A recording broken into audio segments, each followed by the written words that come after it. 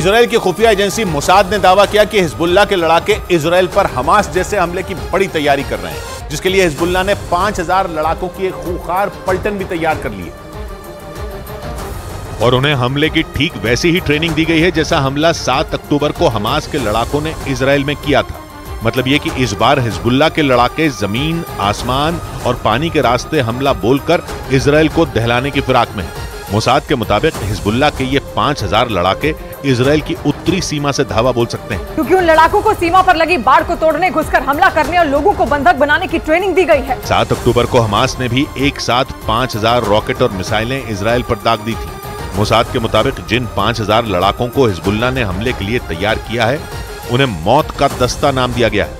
हालाँकि इसराइल की सेना अपनी उत्तरी सीमा पर हिजबुल्ला के लड़ाकों को चुन चुन कर ठिकाने लगा रही। एक रोज पहले इसराइल की सेना ने हिजबुल्ला के पाँच लड़ाकों को मार गिराने का दावा किया। हिजबुल्ला की तरफ़ से भी उसके लड़ाकों के मारे जाने की खबर पर मोहर लगा दी गई। ईरान का आरोप है कि इसराइल का मकसद हमास को खत्म करना नहीं है, बल्कि वो एक बार फिर पूरी गाजा पट्टी पर कब्जा करना चाहता है। जिस पर 2007 से ही हमास का कब्जा है और वो किसी भी कीमत पर इसराइल को दुनिया के नक्शे से मिटा देना चाहता है। लेकिन ईरान का दावा है कि 7 अक्टूबर को हमास के हमले के बाद इसराइल एक बार फिर गाजा पट्टी पर कब्जा करने की फिराक में जबकि उन्नीस सौ सड़सठ से 2005 तक गाजा पट्टी इसराइल के ही कब्जे में थी। लेकिन सितंबर 2006 में इसराइल ने गाजा पट्टी को खाली कर दिया था, जिसके बाद उसके दुश्मन हमास ने वहाँ कब्जा जमा लिया और तभी से वो इसराइल पर लगातार हमले कर रहा है। लेकिन ईरान का आरोप है कि हमास के हमले को इसराइल ने एक मौके की तरह लिया और उसने गाजा पट्टी पर फिर कब्जा जमाने के लिए अपनी पूरी ताकत लगा दी। ईरान ने आरोप लगाया कि गाजा पट्टी के अस्पताल पर इतना बड़ा हमला उसी रणनीति का हिस्सा है। उसका यह भी आरोप है कि अमेरिका के लड़ाकू विमान एफ़ थर्टी से इसराइल हमास के ठिकानों को निशाना बना रहा है। और इसीलिए ईरान ने आरोप लगाया कि गाजा पट्टी में तबाही मचाने और बेगुनाहों की हत्या करने में इसराइल और अमेरिका बराबर के भागीदार हैं। माना जा रहा है कि इसी वजह से ईरान लगातार दुनिया के तमाम मुस्लिम देशों से फिलिस्तीन के समर्थन में एकजुट होने की अपील कर रहा है। क्योंकि न्यूज़ एजेंसी रॉयटर्स के मुताबिक इसराइल हमास के ठिकानों को तबाह करने के लिए एफ़ थर्टी फाइव लड़ाकू विमान का इस्तेमाल कर रहा है। और दावा किया जा रहा है कि इसी वजह से ईरान बुरी तरह से बौखला गया है। क्योंकि एफ़ थर्टी फाइव लड़ाकू विमान ईरान समेत इसराइल के हर दुश्मन को पल भर में ढेर करने की ताकत रखता है। एक रिपोर्ट के मुताबिक इस घातक फाइटर जेट को अमेरिका और इसराइल दोनों ने मिलकर बनाया है। जिसे इसराइल के जखीरे का सबसे घातक हथियार बताया जा रहा है। इसकी ताकत का अंदाज़ा इसी बात से लगाया जा सकता है कि ये फाइटर जेट रेडार को चकमा देने में भी माहिर है। न्यूज़ एजेंसी रॉयटर्स के मुताबिक ईरान के परमाणु बम बनाने की तैयारी ने इसराइल की चिंता और बढ़ा दी है। हालाँकि दावा यह किया जा रहा है कि इसराइल का एफ़ थर्टी फाइव लड़ाकू विमान ईरान के लिए काल साबित हो सकता है।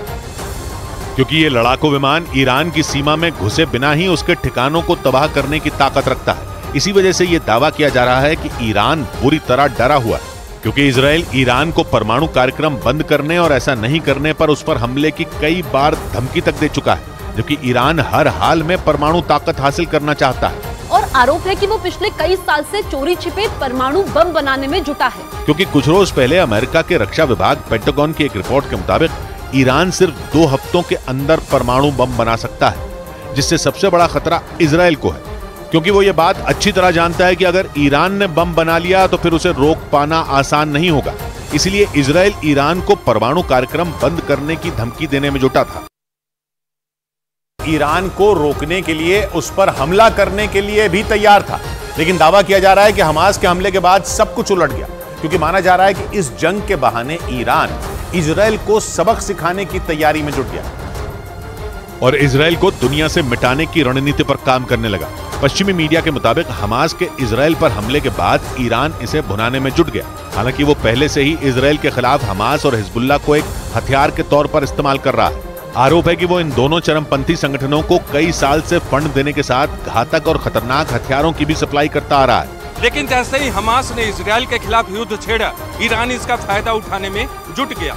और न्यूज़ एजेंसी रॉयटर्स के मुताबिक इसीलिए ईरान हिजबुल्ला और हमास को उकसाने के साथ खुद भी जंग में उतरने की धमकी दे रहा है। हालाँकि माना यह भी जा रहा है कि अमेरिका और इसराइल ईरान के इस पैंतरे को बखूबी समझ रहे हैं और उससे निपटने के लिए उन्होंने तैयारियाँ भी शुरू कर दी हैं। मतलब अगर ईरान ने जंग में शामिल होने की गलती की तो फिर उसे इसराइल के साथ साथ सुपर पावर अमेरिका का भी कहर झेलना पड़ेगा। अमेरिका ने इसराइल को गाजा में जमीनी हमले के लिए हरी झंडी दे दी। इसराइल से निकलने से पहले अमेरिकी राष्ट्रपति जो बाइडन ने उसे यह भरोसा दिया, ये जानकारी ब्रिटेन के अखबार डेली मेल ने दी। जिसने हमास और इसराइल के बीच चल रही जंग के भयंकर होने का चांस बढ़ा दिया, क्योंकि इसराइल ने हमास को खत्म करने की कसम खा रखी है। और बिना रुके गाजा पर हवाई हमले कर रहा है। दिन हो या रात इसराइल की गाजा में एयर स्ट्राइक जारी है और अब वो जमीनी हमले के लिए भी तैयार है, जिसके लिए उसे बाइडेन से हरी झंडी मिल चुकी है। ये दावा ब्रिटेन के अखबार डेली मेल ने किया। अखबार ने जानकारी दी कि इसराइल दौरे के दौरान बाइडेन ने नेतन्याहू से इस बारे में बात की।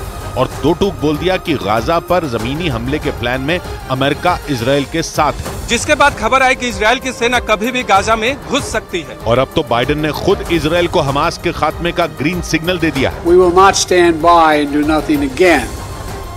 Not today, not tomorrow, not ever. Hamas से जंग के बीच इसराइल पहुँचे बाइडेन ने तेलवीव में करीब आठ घंटे बिताए इस दौरान वो केवल नेतन्याहू से नहीं बल्कि उनकी वॉर कैबिनेट के दूसरे सदस्यों से भी मिले। इसराइल के रक्षा मंत्री योआब गलान से भी मुलाकात हुई, जिन्होंने बाइडेन से खुलकर बोल दिया कि हमास के साथ इसराइल की जंग लंबी खिंच सकती है। बाइडेन और योआब गलान के बीच हुई बातचीत से जुड़ी ये जानकारी ब्रिटेन के अखबार डेली मेल ने दी। जिसके बाद इसराइल की हमास के खिलाफ चल रही भयंकर जंग के लंबे खिंचने का चांस बढ़ गया, क्योंकि ऐसा किसी और को नहीं, बल्कि खुद इसराइल के रक्षा मंत्री योआब गलान को लगता है। और उन्होंने ये बात बाइडन को भी बता दिया और दो टूक शब्दों में कह दिया कि लंबे वक्त तक इसराइल को अमेरिकी मदद की ज़रूरत पड़ सकती। है क्योंकि हमास और इसराइल की जंग लंबी खिंच सकती है। डेली मेल ने अपनी रिपोर्ट में जानकारी दी कि इस बारे में केवल इसराइल के रक्षा मंत्री ही नहीं बल्कि नेतन्याहू के विरोधी बेनी गैंट्स ने भी बाइडन से चर्चा की। और ये आशंका जताई गई कि हमास और इसराइल के बीच युद्ध सालों तक चल सकता है। यानी नेतन्याहू के मंत्री और विरोधी दोनों ने हमास से लंबी जंग की आशंका जताई। और उम्मीद जताई कि अमेरिका इसराइल के साथ खड़ा रहेगा। हमास और इसराइल की जंग के पहले दिन से ही अमेरिका इसराइल के साथ खड़ा है। यही नहीं जैसे ही अमेरिका को हमास के इसराइल में खून खराबा करने की खबर मिली जिसके बाद वो भूमध्य सागर में सक्रिय हो गया।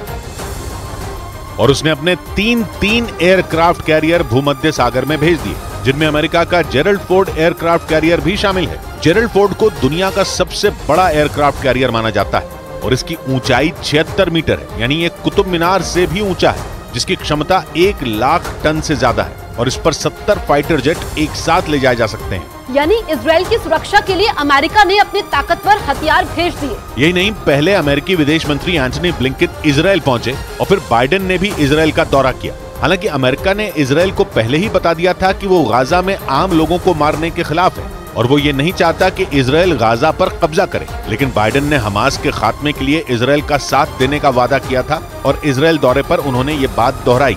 बाइडेन इसराइल से निकले इसराइल ने गाजा पर हमले तेज कर दिए और हमास के सैकड़ों ठिकानों को बर्बाद कर दिया। हालाँकि इस बार भी उसने एयर स्ट्राइक ही की। और गाजा पट्टी में हमास के सैकड़ों ठिकानों को निशाना बनाया। इसराइल की सेना ने हमले का वीडियो भी जारी किया, जिसमें गाजा पट्टी में बनी इमारतें ऐसे उड़ते दिखी, मानो ज्वालामुखी फटा हो इसराइल की गाजा पर एयर स्ट्राइक की तस्वीरें फिलिस्तीन ने भी जारी की, जिनमें इसराइल के रॉकेट गाजा में गिरते दिखे। एक रॉकेट गिरने के बाद तो ऐसा धमाका हुआ कि कान के पर्दे फट जाएँ।